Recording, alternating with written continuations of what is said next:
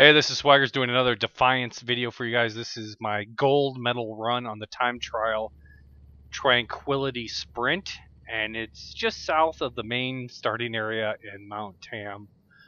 There are two requirements for this one um, for pursuits. One is silver to do a standard Mount Tam pursuit, and one is to get gold in it for um, another for a actual vehicle pursuit.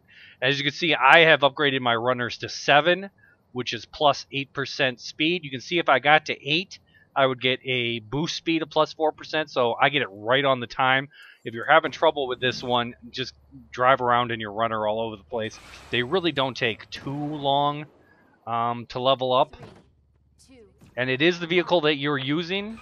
So if you buy a better vehicle, my one hint for this is you should never not be boosting. Every time you get through a gate, your boost replenishes.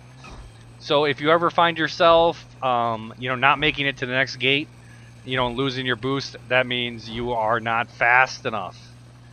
And I'm going to get it right at 38 seconds. Um, some of these turns here can be a little difficult. Line them up ahead of time, especially this turn off this jump because it is a tight left. And then you got to get here. And uh, there is the end. And it actually looks like it takes away. It gives me, gets me down to two. But 38 on the dot is uh, the requirement for gold. So there you go. We did get gold. Yay!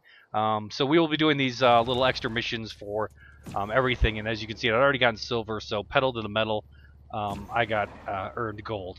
There you go, GameGuideCentral.com, and uh, check out our channel here for lots of Defiance videos. Subscribe. Thank you.